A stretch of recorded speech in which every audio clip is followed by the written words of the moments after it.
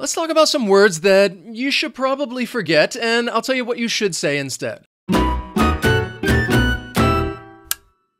What's up, everyone? My name is Wes. This is Interactive English, which is all about helping you practice and improve your English skills. So, quite often we get asked, hey, uh, should I use this word or phrase? What's more common? Is this word frequently used? This is a question that we get regularly. So, in today's lesson, I want to talk about some words that are not commonly used in English, and some of you you probably haven't even heard of before. And I want to tell you the words that you should use instead, but also I want to show you some resources that you can use that will help you answer that question. If you're wondering which phrase or word is more commonly used, these resources will help. Also, as a disclaimer, I'm from the United States, so I'll be giving you the American perspective when it comes to the usage of these words. Let's start with something that, that's easy and straightforward, and that is thou, thee, and thine. So if you haven't heard of these words, then then that's there's a good reason for that. It's because these are archaic and very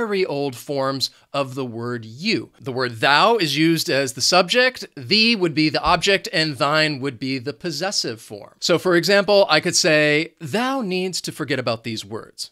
I told thee to stop using these. And thine, I, I, guess I could ask you, what is thine name? Let me know in the comments, write your name, say hello, I just want to hear from you. So as you can tell, it, it just sounds really awkward. You're not going to hear these words out on the street in everyday spoken English. You may hear them if you are listening to a play and it's a very old play and they're using this as part of the dialogue, or you could read about these words in a story if it's an old story and they're using this archaic form of you. The next word that you can eliminate from your vocabulary vocabulary is hither. And what hither means is to go towards someplace. And when I think of it being used, I, I always think of the phrase and somebody saying, come hither come hither. They're telling somebody to come to them. Nowadays, you're not going to tell somebody to come hither. You, I guess you could ask them and say, hey, could you please come over here? Or, or tell them, I'd like to ask you something. Or again, if you're talking about somebody you might be attracted to and you want to start a conversation with them, instead of telling them to come to you, I think it's actually better for you to go to that person and introduce yourself. So the first resource that I want to show you is that just doing a Google search for the word. And if we type in the word hither plus meaning, well, then it's going to bring up the definition of the word. But if we move down to here where it says translations, word origin, and more definitions, and click on that arrow, and then move down to the bottom, and you can see the use over time for this word. And hither has declined dramatically in the last 200 years. We can do the same with thou if we want to see its usage. And if we scroll down, you can see that it has also declined a lot. Are you ready for more words? Then we have salutations. So this is a word that I, you you may not have heard somebody say in spoken English. It's not very common, but you may read it in a story. And what it means is, well, it's just a greeting. It's a fancy way of greeting somebody and just saying hello. Salutations. When I think of this word, I think of the story Charlotte's Web because the two main characters, Charlotte the spider and Wilbur the pig, this is what she says to Wilbur when they first meet. Charlotte says, Salutations. And even Wilbur, who's a pig, said, Charlotte, what the hell are you talking about? What does that word mean? And she had to explain to Wilbur that it is a fancy greeting, a way of saying hello. So when you meet somebody, instead of saying salutations, just say hi, hello, nice to meet you. There are so many different ways to greet somebody and you, you, don't need to use salutations. Then there's frolic. And what this word means is just to play in a lively and cheerful way, a very carefree way. I often think it's more appropriate when describing children. They're they're frolicking on the beach or out in the field or on the playground. They're just playing in a lively manner. Now, this is another word that I think you're more likely to read in a book than you would hear being spoken on the street. However, it is a word that hasn't completely disappeared. You will hear people say this from time to time. You may hear it in a movie or a TV show, but I think its usage has declined significantly in the last hundred years.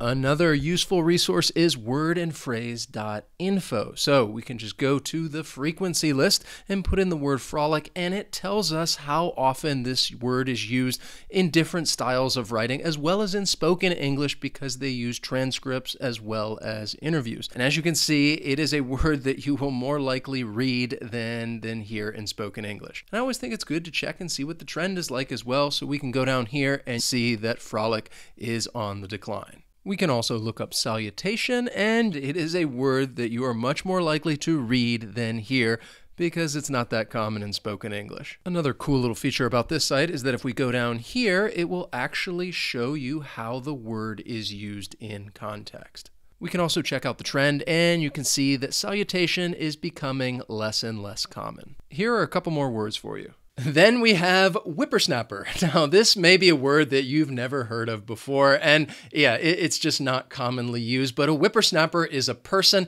and it's talking about a young person who is maybe a bit arrogant, overconfident, presumptuous, and an older person might refer to them as a whippersnapper. And they'd often use it with the word young and say that, oh, this person is just a young whippersnapper. They don't know what they're talking about, these young whippersnappers. Finally, and I, I'm going to catch a lot of heat for this word, but I'm going to put it on the list anyway, and that is so so. Now, this is a word that's actually become more popular over the years, but the reason that I'm putting it on there is because English learners tend to overuse the word so-so. I imagine that most of you know what it means. It just means that that something is okay, that you really don't have a positive or negative feeling one way or the other things are just so so. Now, the reason I say that English learners tend to overuse it is because I often hear them use it to describe themselves, to describe their feeling, like, oh, you know, how are you doing? And they'd say, well, you know, I'm so so. In this case, I think it's more common for somebody to say, you know, I'm okay, I'm good, I'm not bad,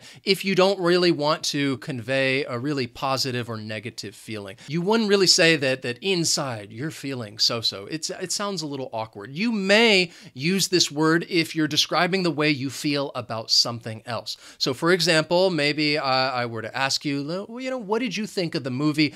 And you didn't really love it, you didn't really hate it. You could say, yeah, you know, the movie, well, you know, it's just so so. So keep that in mind. If you're going to use this word, try to use it when you're describing something else like a meal or an event and you don't have a good feeling about it or a bad feeling. You're just going to say, well, you know, it was so so. But still, I'm to keep it up there and, and, try to discourage you a little bit from using so so because it's not a it's not a descriptive word. I always encourage learners to try to be more descriptive when they want to convey their feelings and so so yeah, it just it just doesn't give a lot of lot of information. And personally, I feel when somebody says it to me, I, I get the feeling like, okay, this person just they just don't want to talk to me about this thing. They don't want to describe the way they feel about it. So, okay, we won't talk about it. And that's probably not what you want to do. You want to practice your speaking skills and find ways to engage in conversation, not shut it down. So, try to use a more descriptive word than so so. Finally, and I've saved the best for last, is Google's Ngram Viewer. Now, Ngram Viewer tracks the frequency of words and phrases in books over the last 200 years. And the best thing about this resource is that you can type in more more than one word or phrase and see how they compare with each other. So let's take a look at whippersnapper. Now, as you can see, it really took off in the first half of the 1900s, but then it went down significantly before leveling off. And as for so-so, it has been on a steady climb